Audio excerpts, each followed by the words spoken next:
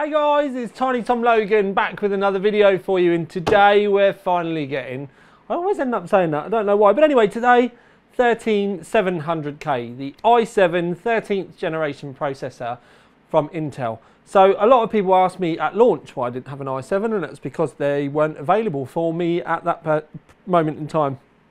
Intel contacted me last week, said would you like an i7? I obviously said yes because I'm interested in this stuff, this is why I do it and uh, when it arrived, I got cracking straight away. Now the i7, uh, 475 pounds ish. It still sounds like an awful lot of money. I can't get used to any of the current pricing when I say it out loud. But you get 8 P cores, 8 E cores. Uh, I kind of put this around the 5900X kind of territory. And uh, the 5900X is about a hundred pound more. Now the reason I know you know like, but that's not fair on Intel because but they're they're fairly similar, uh, and I'm not trying to do that because it's like a price war thing. Not what I'm doing. I'm just trying to find some similarities. Uh, the i9 is another. Well, it's over two hundred pounds more expensive, so it's a big big step up if you want to go up to the i9.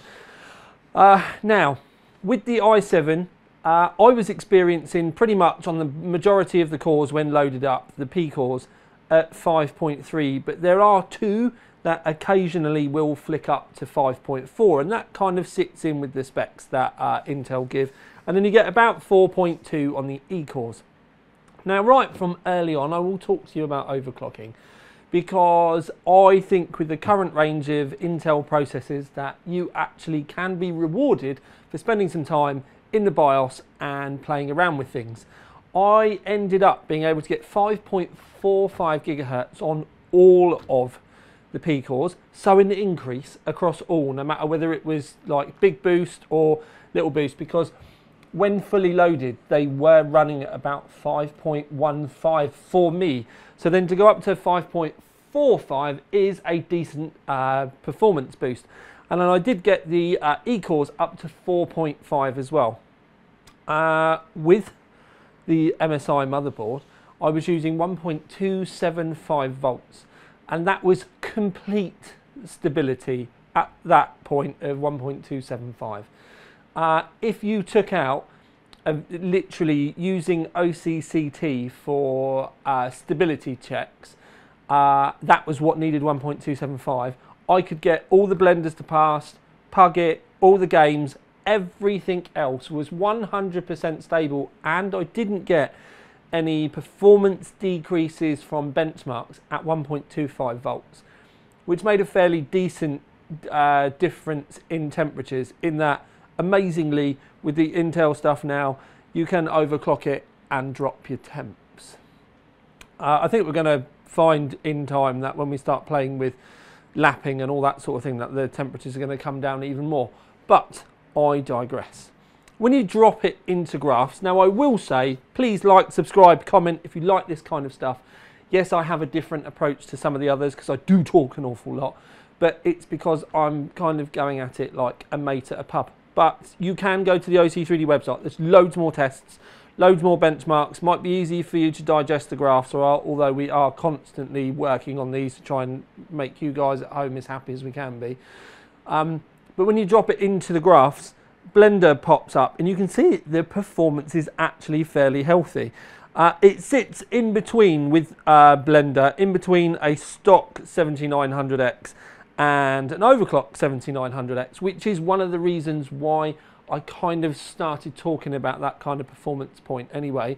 That and the fact that I know that the 7900X is technically Ryzen 9, uh, but I think it's it's a good thing for us to attach to and aim for comparison wise because otherwise we're going to be talking about the 7700X and there's a considerable uh, considerable um, uh, price difference there. But more often than not there's actually a bigger uh, performance difference. They are actually the 7900X they are fairly fairly close when you go on to uh, Cinebench, as you can see here, again, they sit pretty much in and around uh, each other. Now I know that the like the three main scores in the middle there are fairly close, uh, in that graph at least. Uh, but if you actually look at the numbers themselves, for Cinebench, 100 points difference is a fair bit. So in this, I'd say the overclocks are fairly close, but the stock in reality isn't. Now we can uh, power draw, with all due respect, if there was an award for using more power, then this current generation, uh, Intel would definitely use it. Uh, use it, they would win it. Uh, but, um, or then again, use more power. So yeah, it does kind of make sense. But anyway, uh, as you can see, it pulls more power than an overclock 7950X and just just many many lots of power in reality but you do need to remember with the uh, 7900X there is obviously uh, different boosting and stuff on that compared to the uh, 7950. Games wise, it really depends on what game you're running. Uh, Cyberpunk, for example, as you can see in the graph, loves Intel. But then if you look at Total Warhammer, for example, and the reason why we run Total Warhammer is this is such a CPU limited game. It whatever is going on with Total Warhammer loves AMD, which is exactly the reason why I want to show you both because there isn't a clear winner in reality. It kind of depends what camp we're at. Uh, we do have Far Cry 6 results, we do have Rift Breaker results as well, and many, many more on the website. Now, if it was me with the i7, what would I do? Well, I personally think that the i7 is a very nice middle ground between the 5 and the 9, which you don't need uh, a degree or like to even really have tested it to kind of work out why. But for me, the um, uh, 5 is very, very much just get it, game with it, enjoy it, but you have loads of overclocking if you can be bothered. The 9, mega hot, uses loads of power, need to spend loads of money on cooling, probably should be investing in DDR5 if you're going to buy it uh, but you can obviously very, very healthily gain. It will at least try and keep up with the 4090, but at the same time, you're going to have content creation stuff. In the middle ground, the content creation stuff or the multi core stuff on the i7 isn't really a big problem. It does it very well for the price point compared to others at the price point. So it's not going to shame you away you're going to be happy. But at the same time, it isn't a slouch within the games either. So that's why I say it's kind of a middle ground between content creation and gaming, and it does both very, very nicely. You are, though, still going to need decent cooling with it. Not necessarily going to need to worry about your motherboards boiling up or anything like that, because as long as you're not using something with very low grade VRMs, you are actually going to be okay. Yes, we've got an expensive carbon. It's £550, which when you say that out loud, it kind of means you're spending a £1,000 on a CPU and a motherboard. You don't necessarily have to go for the carbon. You could um, go down the ranks a bit or even go down to the, um, you could just upgrade from a reasonable Z690, for example, or we do kind of know that there's going to be a B series motherboard launch at some point. I'm actually kind of interested in that because I think the grey area between the 5 and the uh, 7s could be a really good match for the B series boards when they come out. Really depends if they ruin it with too much DDR5 and too much PCI Express 5. Uh, so, good overclocking to be had, rewarding, nice stuff to do at weekends. Uh, one of the things I would advise though, if you are going to buy one of these and not overclock, is do an undervolt. Whether you do a static undervolt or whether you do uh, an undervolt with an offset, I cannot like stress to you enough. I think that would be a very good move to drop your temperatures down. All you need to do is do like 0.025 or 0.05 off as a reduction, go in, do a stability test, do it again, do it again.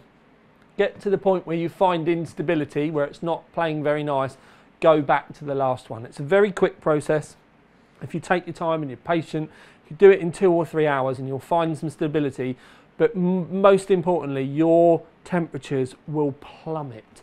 And it's going to mean that you're not going to need a turbo 360 to be able to keep it running. You'll be able to have uh, a good quality air cooler or an easy 240 millimeter on AIO, but critically without the fans blowing an absolute hoolie.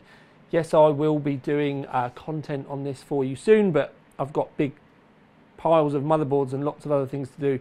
So I'm trying to get through as much work as I can do before I then come and try and help you guys with things like that. But for now, data on the i7. Yes, it's a quick video, but it's quite a bit after launch, and I've done this just to be thorough, like I did with the uh, 7600X and the 7900X. So we're there now. We know what we we can expect from processors. Hopefully that will help you guys at home make decisions on where you might want to be spending your money because I'm not going to tell you where. I'm just going to give you the information and hopefully help you decide what's best for you because you're all different and that's most important thing to remember please remember to like subscribe comment. There's loads of stupid stuff going on on instagram a lot of the time and i am trying to be very very on point with my followers on the tiny tom logan facebook page. So if you're interested head over there and you never know what might be happening in the not too distant future because uh, there is a lot of stuff. That was great tom that was. There is a lot of stuff that's been going on behind the scenes and I am going to be sharing some pretty cool stuff with you all soon. But for now at least, this has been the tiniest one with another video for you out. Ding! I don't know why I do that, but I know why I do that. Love you, sis.